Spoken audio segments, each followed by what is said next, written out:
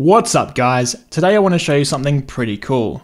So in the past I've shown you some of the Olight gun mounted flashlights such as the Odin here. The Odin here is great for CQB, so point blank ranges, and ignoring the distance claims on the box, I find in practice it's great to about 50 to 75 meters maximum. And then there's this, the brand new Olight Odin Turbo. To be completely honest with you, I don't think this has any purpose on a gel blaster. In fact, even on a real steel firearm, the use case for this is very specific. Because this thing starts at around 50 meters being useful and goes all the way out to at least 700 meters from my testing. Today I want to change things up a little and we'll give you a comparison first, and then I'll come back inside and give you an unboxing and overview. I've chosen the camera settings which best matched what my eye actually saw at the time. Let's start with an indoors test. So first up, here's the original Odin gunlight. It has a very nice wide beam, perfect for up close. And now here's the Odin Turbo. As you can see, the beam is so tiny that up this close it's basically useless. And now here's each of them again, with a human silhouette added. The original Odin, and now the new Odin Turbo. But now let's head outside to where the new Odin Turbo really shines. This first tree here is 30 meters away, and this is the original Odin first up. And now the Odin Turbo. When I stood next to this tree, this is how tall I was. So the Odin Turbo almost covers a human figure at 30 meters, but not quite. This next tree is 50 meters away. Original Odin first, and now the Odin Turbo. At 50 meters, the Odin Turbo does cover a human figure. So this is about where I'd say the Odin Turbo becomes useful. This next one is a fence 100 meters away. This is where I can start to barely see the original Odin. Meanwhile, the Odin Turbo is still really bright. Next up, there's a hill I used my laser rangefinder to determine was 500 meters away from me. The original Odin is doing absolutely nothing here. Meanwhile, the Odin Turbo is lighting up the hill. With a magnified optic, you could definitely see anything that's up on that hill. Finally, this last hill is 700 meters away. To be expected, the original Odin does nothing here either, but the Odin Turbo is still lighting up the 700 meter hill.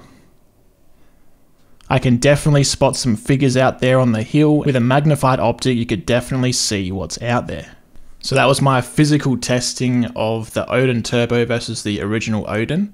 A lot of you might not know this, but before I got into gel blasters, I actually used to do a bit of hunting, especially at night time. So we'd have one person holding a spotlight while the other shoots. And I can say right now, if we had this back then, both of us would have been shooting and none of us would have had a reason to hold a spotlight. I think it's truly amazing how far torches have come. So now let's unbox this and talk about how it works. So the Odin Turbo comes in Olight standard packaging with a magnetic flap. And as you open that up, you're greeted by a yellow warning message that just tells you to fully charge the torch before your first use. Removing that, you can see the torch itself is inside this nice foam cutout for protection. Not that it needs it, because the Olights are near indestructible. Let's take it out of the box and remove those tabs. So I've actually got a protective tab on the front of the lens to pull off. And unscrewing the tail cap will remove the tab that's insulating the battery. While I have the tail cap off, if you take a quick look, you can see it's O-ring sealed and it has an IPX8 waterproof rating. Taking the battery out, it's a proprietary 5000 mAh rechargeable battery, which with that in there, allows you to recharge the torch externally. Take that foam padding out. Just want to grab this small cardboard box here. Inside this box, you've got your magnetic charger. It simply attaches magnetically it's a nice and secure connection, and the other end is terminated in USB. So you can charge this at home where you charge your phone, or out in the field with a battery pack. Also, when you are charging it, this will flash red when it's still charging, and it will turn green when it's completely charged. To turn the light on, it only has one button, and that's at the rear on the tail cap. If you half press it, it'll give you 90 lumens, and if you full press it, you get the full 330 lumens. If you press the button quickly, it'll stay on until you push it again and it will turn off. Alternatively, you can do momentary on just by holding the button in, and as soon as you release it, the torch will turn off. Inside the same little box where the charging cable was, it comes with a Picatinny mount for the torch. It simply slots in, there's a rail there and a slot there. Line them up and it clicks in. It won't pull out until you click the quick release and then you can just pull it straight out. If you're worried about that bumping on something and coming off, you can actually rotate that to a locked position so it won't push in. Also in the box, you get a magnetic tail switch. Much like the charging cable, this magnetic remote switch simply goes onto the tail cap. It's a nice and secure connection even without using this locking ring, but if you're worried about it coming off, just push the locking ring forward and now it's not going anywhere. The pressure pad itself simply friction fits onto any Picatinny rail could also remove it out of that holder and just use zip ties if you don't have Picatinny rail.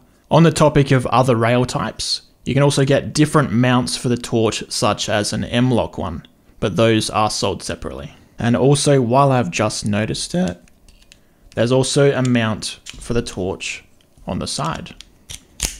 So depending on how your rail is set up, you can either have it on the side or on the top of this mounting bracket. I'll just quickly point out that while you're using the magnetic tail switch, you only have the one brightness level, and that's the full power 330 lumens. You do get the quick press to keep it on and turn it off again, or the momentary on by holding it down and releasing the second you want it to turn off. As usual on all of the marketing stuff, they say it lasts seven and a half hours, but that's actually only with the lowest of the two settings, so 90 lumens. If you want to use it at the full 330 lumen setting, you only get 30 minutes out of it, and then it drops down to 180 lumens for a further 150 minutes, and then it will drop down to 90 lumens for a further 30. I wouldn't say 30 minutes at the full brightness setting is too bad though. Most people are just going to use this in short bursts as they take their shots or scan for the next target. You're not going to leave it on for 30 minutes straight. Also, if this 330 lumen number seems pretty low to you, especially considering the original Odin does 2000 lumens, that's actually because this uses a completely different technology, so the numbers in lumens are pretty much irrelevant. The Odin Turbo is an LEP torch. According to Google, that means it's a laser excited phosphor. This is a class 1 white light laser, which is apparently eye safe, but gives it an extremely tight hotspot, long throw with no spill. Is there anything I've missed? Oh yeah, it's impact resistant to 1.5 meters.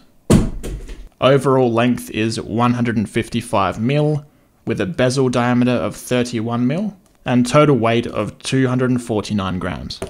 Regarding that impact resistance, I have actually chucked these onto concrete before from higher than 1.5 meters, never managed to break one before, so these are definitely very durable. Also on the box, they claim it goes to a maximum throw distance of just over 1 kilometer. I wouldn't doubt that claim to be honest, uh, at 700 meters it was still pretty bright shining back to me. So I think that's everything covered about the Olight Odin Turbo. I think it's a great innovation for nighttime shooting or hunting, probably not so useful on a gel blaster, although the original Odin fills that role pretty well. It might be useful on airsoft at the longer ranges that they shoot at. If you want to pick up either of these though, check out olightstore.com.au where I've got a discount code that you can save some money and support my channel. They've actually agreed to give you 20% off with that code now. So go check them out if you want to get the long range Odin Turbo or the more CQB Odin Original. That's all for this one. Thanks for watching guys, and I'll see you on the next one.